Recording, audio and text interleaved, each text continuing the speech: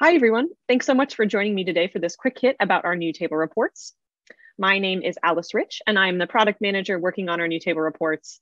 And I have spent most of my waking hours over the last two years thinking about our new table reports, and I've loved it. So I'm really excited to share some of that with you today. To set the stage a little bit, I'll start by giving a little context on the UI refresh as a whole. Then I'll talk about the new table report journey and how we got here. Then I'll switch it up and demo some of our cool new stuff, and then I'll wrap things up. Listing our key takeaways up front here. The most important one is that the new table reports have arrived. They are here, they are generally available, and they include the most powerful features from the legacy report, along with many exciting new ones. I've list some of, listed some of those exciting new ones over here on the right-hand side, but I don't wanna spoil the surprise too much, so I'm gonna keep moving for now. All right, so first, a little background on the UI refresh. As you may have heard, QuickBase is in the middle of a multi-year journey to refresh our entire user interface top to bottom called the UI refresh. We're approaching this on a feature with a feature by feature approach. In the last year, our focus has been on new table reports and new dashboards, and I'm sure you've heard of those since they are the first major features to be released as part of the UI refresh project. This refresh has a ton of benefits, apart from the obvious, but first, let's start with the obvious. First, it will provide a more modern and consistent experience across the entire platform. So before we started this project, we heard from customers sometimes, you know, I love your product and what I can do with it, but you know, I just don't want to show it to my boss because sometimes it doesn't look the best. So there is an aspect of stepping up that curb appeal. Next, there are also benefits that aren't so obvious. For each element of the UI refresh, since we are quite literally rebuilding them from the ground up, we will also get a chance to um, refresh the sort of technical underpinnings. This allows us to build each of them with support of international characters and accessibility in mind, which is really exciting. Plus, it also speeds up our delivery of new features in the long term, since we'll be working in a more modern code base and it's much easier for us to make changes without breaking something else unexpectedly and having to go back and fix a bunch of bugs. So a little bit of background on the UI refresh as a whole. Now let's talk about new table reports specifically. Since table reports lie at the heart of so many QuickBase interactions, we wanted to make sure that we took the time to get things right. So we started work on them a little over two years ago in February of 2019. This is just a little timeline of the journey that we've taken over the last two years to get here. After we started in February, we had a few months of work uh, before we started our first limited beta program in October of 2019. In that, we invited over a thousand customers to try things out before launching our first ever open beta program at Empower last year in June of 2020. That's when you started seeing that new style beta toggle appear on your screen. This was really great because it allowed any user that was interested to try things out and share their thoughts with us. And as of yesterday, May 24th, we have officially completed our GA rollout to make the new table report the default experience for all users across the platform, which is an incredibly exciting milestone. Since we opened that open beta program, since we started that open beta program, rather, uh, we have gotten a ton of engagement, which has been really helpful. In that time, we've gotten over 560,000 clicks on the toggle to enable the new table report. Those clicks were performed by 153,000 unique visitors in over 8,000 accounts, which all equates to over 210,000 new reports, new table reports loaded every single day. And that number will have increased by the time that I, by the time we get to Empower, since I will have done this recording. And all of these numbers are definitely fun, but more importantly, all this activity has helped us make informed choices along the way based on feedback from you guys, our wonderful community. So thank you to everyone who took a survey, participated in a usability, usability session, or submitted feedback. You have been an invaluable part of this process. So thank you again. Before I get into the features, I want to make sure that I talk a little bit more about what GA means for a feature like the table report, where you have a toggle that you can flip back and forth between the old and the new. So in the simplest of terms, GA means that the default will switch to the new experience, but you'll still be able to toggle off to use the old style if you need to. We'll be keeping the toggle around for quite a while uh, while we validate that the new style serves the needs of the QuickBase community. But we will eventually remove it and the new table report will just become the table report. It'll be the default experience. It'll be the only experience. Again, that's not happening anytime soon. We're going to keep the toggle around while we validate that you know it's full featured and complete. We won't take anything away until we've given everyone plenty of warning. But I just mention it here to illustrate our eventual goal. So without any further ado, let's get into the demo portion here and take a look at the features. First, I want to start by calling out a few features that were also present in legacy table reports that we've brought right over into the new table report as well. We know that our legacy table reports have a ton, of ton of power packed in there, and we brought the most important features right over into the new table report as well, even though they might be called something different slightly or in a slightly different place. So first and most obvious are your report's dynamic filters. Dynamic filters are really great because they allow you to filter on fields that aren't columns in the report, so they can save you a lot of space. Instead of finding them on the left-hand side of your report, as you would have in the old style, you can now find them right at the top of your report in these little buttons across the top of your screen. Though they're the same filters that appeared on the left on the left in the old style, so there's no need to go back through and change any of your reports. It should be pretty one-to-one -one when you switch to the new style. We made this change to allow you to fit more data on your screen rather than taking up space on the left-hand side. So now, instead of uh, clicking the choices on the left, you just go ahead and open them up, make a choice in each of these and then they will appear in these tokens right across the top of the screen. You can also use these to clear them individually, or you can use the clear all option to clear them all out at once. Make that really easy for you. I'll actually come back to these in a minute because I'm not done talking about filtering. We've actually added in an entirely new filtering capability, but on the same note of items that were also present in the old style and where to find them, let's next talk about downloading your report as a CSV. In the old style, you would have accessed this through the More menu and chosen Save as Spreadsheet.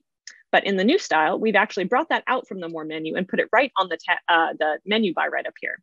You can find it with this little icon, Download Report as CSV. Just one press and you're able to get that right uh, downloaded for you.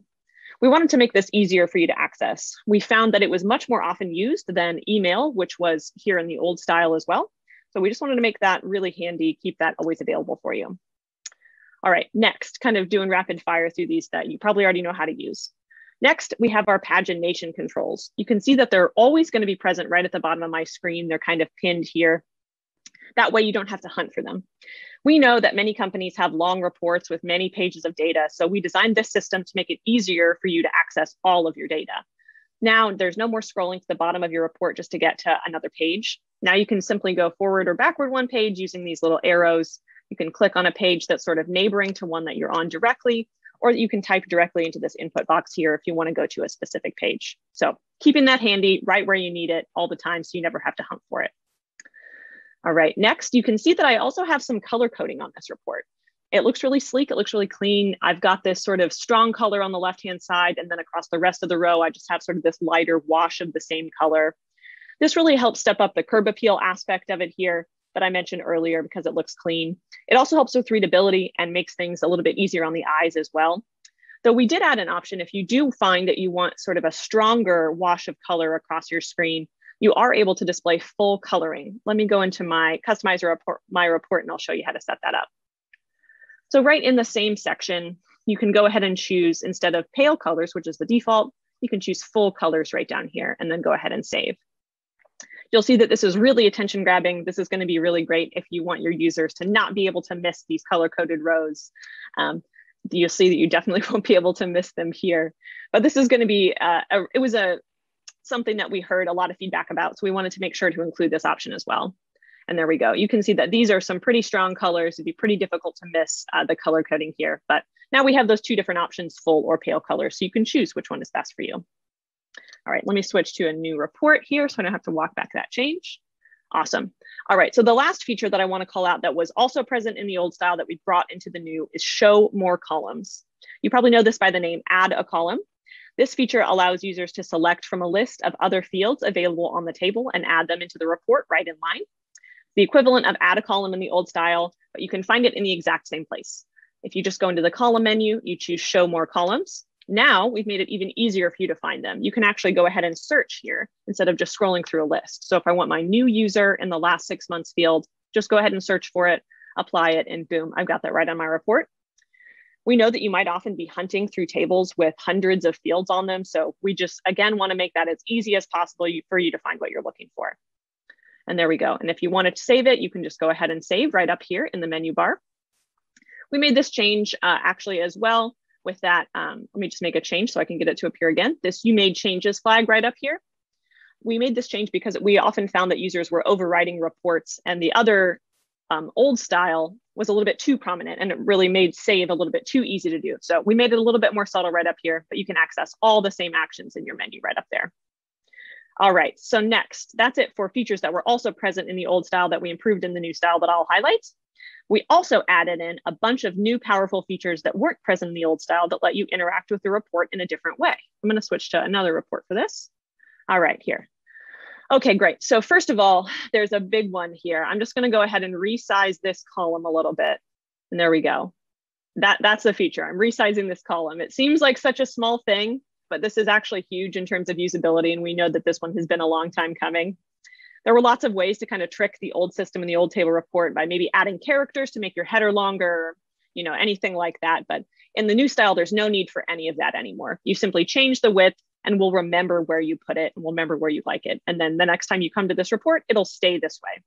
We'll actually even remember your preferred width if you use a different browser. Since the widths are tied to your user profile, it can go, go cross browser like that. So anyway, seems like kind of a small thing, but it's definitely big in terms of usability. All right, speaking of making customizations to perfect your table report view, the new table report style also allows a couple different customizations you can make to maximize your screen real estate and display the most data possible on your screen. So first, you can always take advantage of our full screen mode right up here in the menu bar.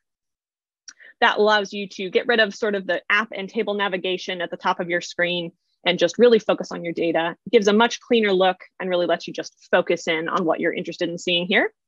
Second, if you want to see even more data on your screen, you can actually choose one of our new spacing options on the report.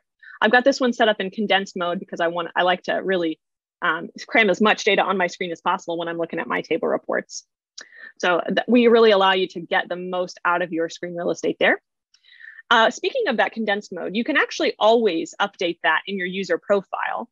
Uh, you may not know this. This one's just kind of like a hidden gem, not specific to new table reports. But if I go up into my Hi Alice in the corner and choose my preferences, I can go ahead and set condensed mode if I'd like to. What I like to do, well, let me back up just a minute. What this will actually do is that this will make all of your QuickBase views condensed, including forms, not just table reports. So I find that a bit tight. So what I like to do is that I like to keep it at the regular view because I have pretty poor vision, honestly, and I like to keep my forms a little bit, um, little bit more spaced out. But on table reports, I really like to see my condensed view here. So uh, that allows me to kind of keep that and override that at the table report level. So what we're doing on the new style is that we actually allow you to override this on a report by report basis. So you can have that flexibility and I can have that sort of regular, little bit of a looser view on forms, but I still get to have this condensed view on all my table reports. This is another setting that we'll remember the, the next time you come back to this report as well. So there's no need to kind of have to set this up every time. If I come back here tomorrow, it's still gonna be condensed, no worries. All right. Okay. Next feature that I'm really excited about that is new in the uh, new style. I'm going to switch to one more report here. I already mentioned filtering a little bit when I talked about dynamic filters a little earlier. Those are again right up here. They provide that same sort of workflow driven focus that builders are used to so that they can guide their end users towards what they should filter on.